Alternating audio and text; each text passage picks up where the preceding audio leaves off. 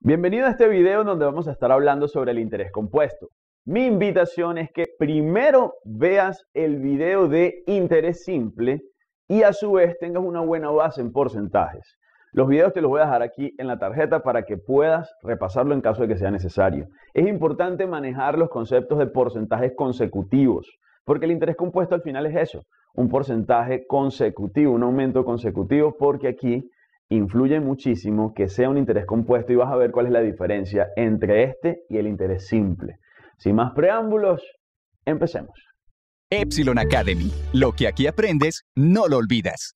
Muy bien, la diferencia del interés compuesto con el interés simple es que el interés compuesto no solamente te está generando interés sobre el capital inicial, sino que también te está generando interés sobre la tasa de interés que vas teniendo por cada periodo de tiempo. Es decir, en el interés simple vimos que teníamos un capital final que dependía del capital inicial, ¿sí? Más lo que era para nosotros el interés que se estaba generando a ese capital inicial. Eso era en el interés simple. Si a ti te decían que esto era en 10 meses, al ser un interés mensual, esto simplemente lo estábamos multiplicando por el n, que sería el periodo de tiempo. Allá te expliqué en interés simple de dónde sale esta expresión y qué significa antes de escribirla. Ya, hicimos un ejemplo, resolvimos un ejercicio y entendimos de dónde salía esto. ¿Qué pasa? Aquí no aplica esto. Porque si yo te digo a ti, ven acá, antes de una fórmula, quiero que entiendas de dónde sale el proceso. Mira, resulta que el capital inicial de inversión o de préstamo que se está realizando, vamos a trabajar con números bonitos para entender qué es lo que está pasando. Del resto se encarga o la calculadora o hacemos operaciones elementales y ya. Vamos a suponer que son mil dólares, ¿sí? Y el interés, la tasa de interés, vamos a TI o interés solo, vamos a suponer que es del 5% mensual, ¿ok? 5% mensual. Vamos a ponerlo así, 5% por mes. Y resulta que queremos saber cuánto tengo que pagar yo al cabo de 10 meses. Yo quiero que veas lo que va a pasar aquí. Tienen que decirnos a nosotros si es una tasa de interés simple o compuesto. Tienen que decirte si es interés simple o de interés compuesto. Si no dice interés compuesto, se asume que es interés simple.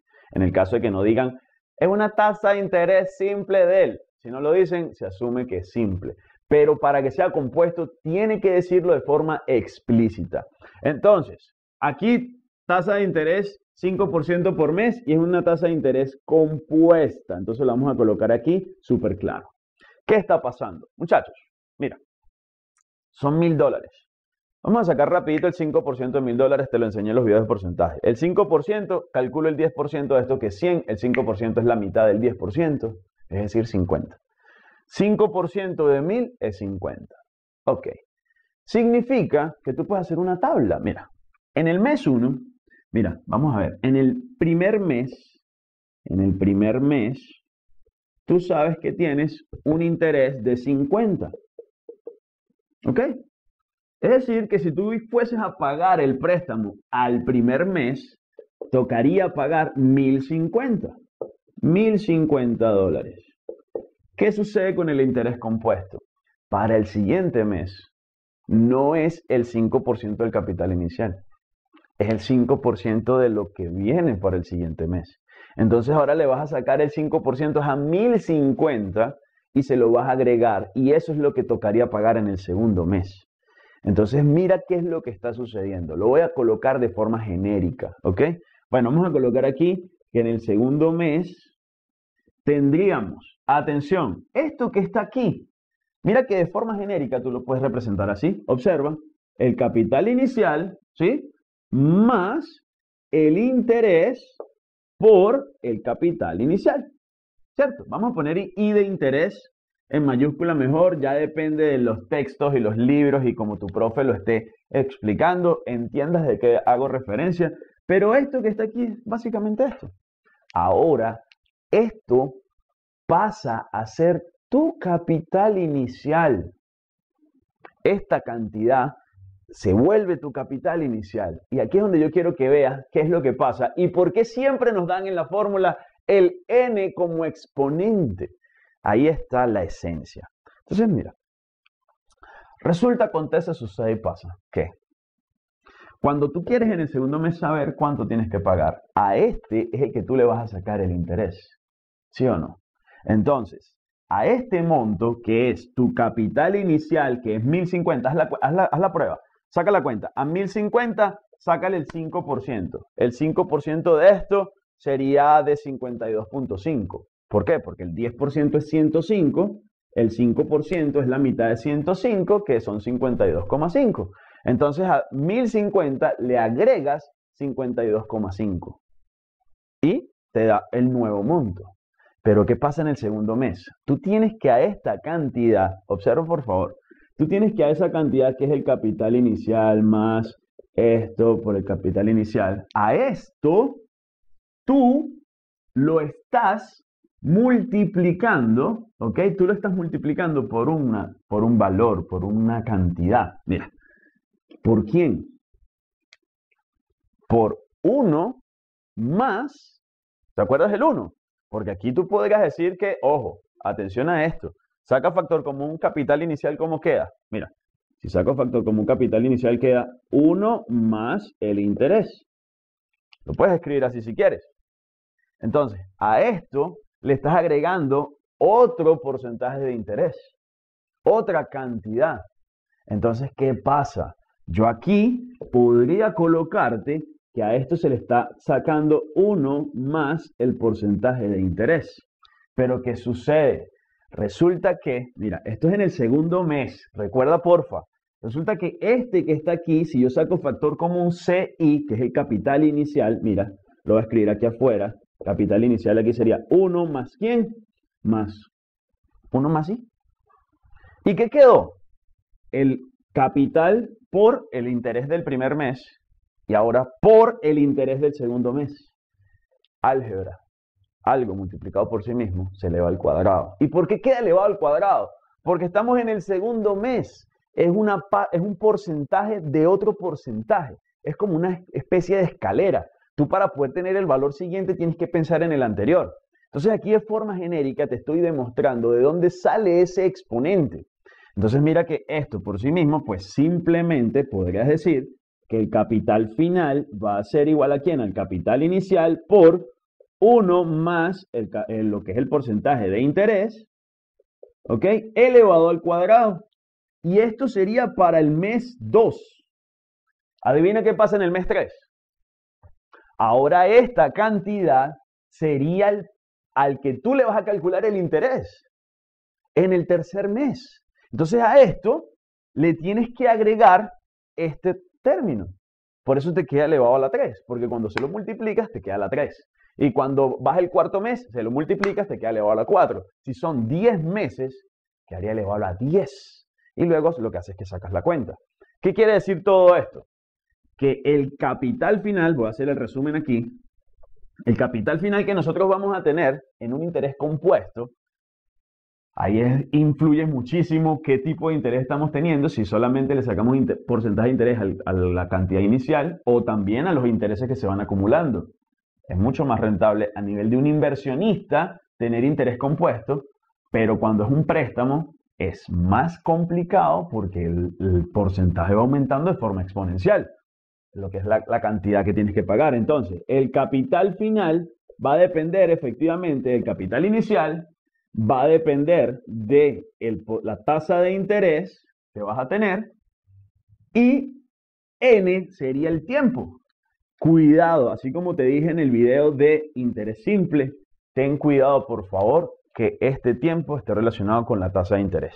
Si te dicen que es una tasa de interés anual y son un periodo de 5 años, aquí colocas 5. Pero si te dicen que es una tasa de interés anual y es un periodo de 6 meses apenas, Cuidado que es medio año. Cuidado porque estás echando hacia atrás y todavía no llegas a ese periodo anual. Entonces es importante que el factor tiempo esté ahí involucrado y que comprendas que tienes que llevarlo a la misma unidad. ¿Ok? Ahora, ¿qué puedes hacer aquí para saber cuánto tienes que pagar? Nada, el capital inicial fueron de mil dólares. Entonces sería 1 más el 5%. Recuerda que ese 5%, esa tasa, 5%, lo puedes pensar como 5 de 100 y por eso hay fórmulas o cualquier tipo de libros que colocan aquí el número entre 100, R, no sé, lo, que es el interés que le colocan. ¿Por qué? Porque no lo están colocando en porcentaje, lo están llevando una vez a decimales. Entonces, en el fondo, para que, para que sepas que es lo mismo, y eso te lo expliqué en el video de interés simple. Ahora, esto a efectos prácticos, ¿qué influencia tiene? Sí, tú vas a colocar aquí 1000, colocas aquí 5 sobre 100, que es 0.05. Entonces, eso, ojo, 1 más 0.05, en este ejemplo, te da 1.05, que ese 1.05 es el que tienes que elevar a la 10, porque son 10 meses, pasó 10 veces esa, ese interés, está generándote por 10 meses esa cantidad, y luego eso es lo que multiplicas por el capital inicial, que es 1000. O sea, el, el capital inicial queda así. Bueno, saquen la cuenta, por favor, que quiero saber en cuánto quedo yo. Bueno, primero resuelves esto y luego multiplicas por capital inicial. No lo vayas a hacer al revés. Ahora, ¿cómo podemos ver nosotros la diferencia de lo que es el pago, el interés? Observa por favor esta gráfica. Mira la gráfica básicamente que está diciendo. La línea de abajo es el interés simple. El capital inicial, sabes cuánto es el porcentaje de interés, y eso al final se va distribuyendo, por así decirlo, de forma lineal en el lapso de tiempo que tú tengas. Es lineal el interés simple. ¿Qué pasa con el interés compuesto? No es lineal, es exponencial. Te va creando mayor eh, gasto, no gasto, no gasto, no. Te va creando, eh, si es un pago, porque si es un préstamo, tú tienes que pagar por cada periodo de tiempo que va acumulándose, vas a pagar más, porque no es solamente el interés sobre el capital inicial, el interés que se va acumulando también te va generando interés. Es como sacar interés de otro interés. ¿Sí? Es una parte de otra parte. Y en el video de porcentajes, para cerrar la idea, yo te, cuando te hablé de porcentajes consecutivos te mostré como una especie de cajitas. Tú al capital inicial le vas a sacar un porcentaje de interés. Tienes una cantidad nueva. Entonces el interés compuesto, ¿qué pasa? No se basa en el capital inicial ya. Tú a esto que sucede, ponte tú, luego de un año, aquí tienes el capital inicial por 1 más el interés. A este es el que tú le vuelves a sacar el porcentaje de interés. Por eso quedó el capital inicial por 1 más y al cuadrado. Y si son tres veces, cuatro veces, cinco veces, va creciendo de forma exponencial y por eso queda la gráfica de esa manera. Entonces, atento cuando es interés compuesto, atento cuando es interés simple. La diferencia es importantísima y todo esto aquí lo radica en el tiempo, en la unidad de tiempo, que comprendas cómo se hace y yo estoy seguro que con esto, al tenerlo súper claro, lo vas a poder implementar en la parte práctica. Esto es Epsilon Academy. Lo que aprendes no lo olvidas, entiendes de dónde salen las cosas. No es solamente una fórmula y ya, sino comprender qué está pasando y por qué está pasando de esa manera.